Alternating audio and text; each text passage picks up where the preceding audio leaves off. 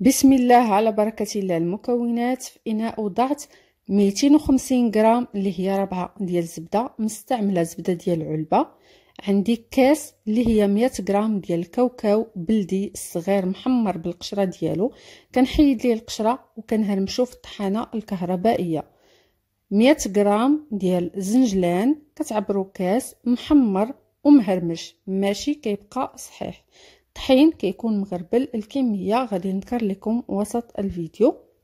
عندي كاس ديال السكر سنيدة ما يعادل 100 غرام نص كاس ديال زيت نباتي رشة من الملح كيس سكر فانيلا وجوج ديال الخمارات طريقة جد سهلة.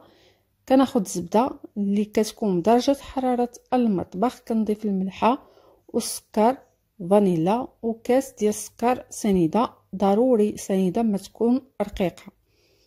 الزبدة تكون رطبة كتخدموا هاد العناصر هي الأولى.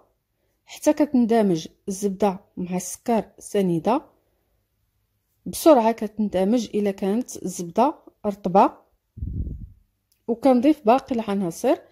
هنا بعد ما خدمتها كنضيف نص كاس ديال الزيت النباتي. بالنسبة لهاد الغريبة راه ما فيهاش البيض نهائيا. كنستمر في المزج ديال المكونات كاملة. بعد ما ضفت الزيت كنخلط الكل جيدا حتى كينسجم. عاد كنضيف باقي العناصر.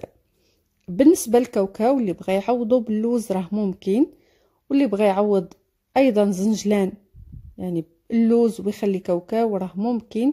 لكم نتوما الاختيار ولكن هي كتمشي بهذا المذاق ديال الكاوكاو. وزنجلان كتجي ممتازه في المذاق ديالها. كاوكاو كيبقى مهرمش ماشي مطحون بودرة. وكذلك الزنجلان مهرمش ماشي كيكون مطحون بودرة. كذلك خصو يبقى مهرمش. كنخدم العناصر كاملة.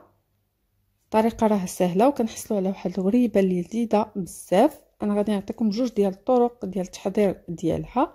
هنا كنبدا كنضيف الطحين بالتدريج. بالنسبة لكمية الطحين بالغرام تقريبا غادي تاخذ معكم 380 غرام ديال الطحين. كنضيف جوج ديال الخمارات ما يعادل 14 غرام. ممكن ديروا حتى لجوج خمارات ونص. أنا كنفضل نستعمل جوج ديال الخمارات فقط. كنبقى كنضيف الطحين شوية بشوية. ضروري ما نحصلوا على قوام اللي كيكون رطب. لين ماشي قاصح ماشي كيبقى كيلتصق في اليدين. ضروري ما يكون القوام ديالها رطب كنستمر في إضافة الطحين شوية بشوية. كما ذكرت الكمية كتبقى بالتقريب. ما خصهاش تكون قاصحة وما خصهاش تكون خفيفة بزاف. هذا هو القوام ديالها. مباشرة كنمر التشكيل ديالها. عندي هنا سكر كلاصي سبيسيال. راه متوفر في الأسواق وكاين عند بائعي لوازم الحلويات. هنا نتوما كتحكموا في القياس ديال الكويرات. أنا ما غاديش نكبرها. بغيتها من الحجم متوسط. بغيتوها كبيرة كتعبروها في الميزان. بغيتو هاد القياس هذا كديروا عينكم ميزانكم. إلا بانت لكم شي كره كبيرة راكم كتنقصوا منها بطبيعة الحال. مع المداومة غادي تعرفوا القياس غير باليد ديالكم. ماشي ضروري حتى تعبروا في الميزان. مهم الكويرات كتكون متساوية القياس نتوما كتحكموا فيه بطبيعه الحال. كنشكل كمية من الكويرات وكنوضعهم في هذيك الإناء اللي فيه سكر كلاصي سبيسيال. كيكون آه، رطب وكيكون خفيف ماشي حلو بزاف.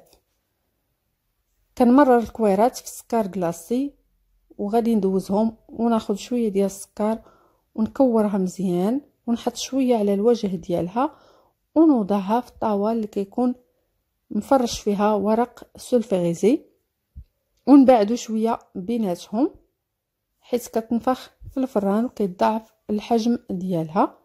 بالنسبة لطريقة الطهي ديالها خاص يكون الفران من الأفضل كيشعل لتحت والفوق باش كتشقق وكتجي آه، كلها يعني قياس واحد وشكل واحد أثناء الطهي ديالها.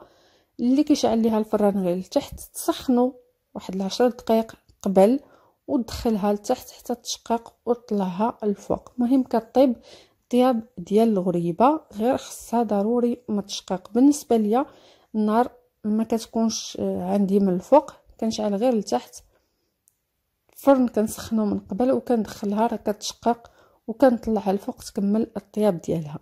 هنا لكم الاختيار كنزينها بحبة ديال اللوز اللي كيكون ممسوح من الغبرة. ممكن ديروا كاوكاوة بالقشرة ديالها. وهنا بعد ما كملت الكمية غادي ندخلها الفران هنا الكمية المتبقية غادي نوريكم طريقة أخرى. خديت اللوز خضر بالقشرة ديالو مسحته مزيان وهرمشته وحيدت هذاك اللي كيكون بودرة. دوزوه في واحد الصفاية ولا في الغربال اللي كيبقى لكم بودرة رقيق. احتفظوا به حتى ديروه في العجين ديال الصابلي. واللي كيبقى هنا غليظ كدوزوه في هاد الكويرات. اللي ممكن ديروا الوجه ديالها في بيض البيض عاد ديروا اللوز مهرمش. أنا درتها بلا بيض البيض. هنا بعد ما طابت آه، الطاوة كما لاحظتوا كتجي مشقة وكيجي اللون ديالها مذهب وهنا هذه اللي درت ليها اللوز مهرمش بالقشرة ديالو.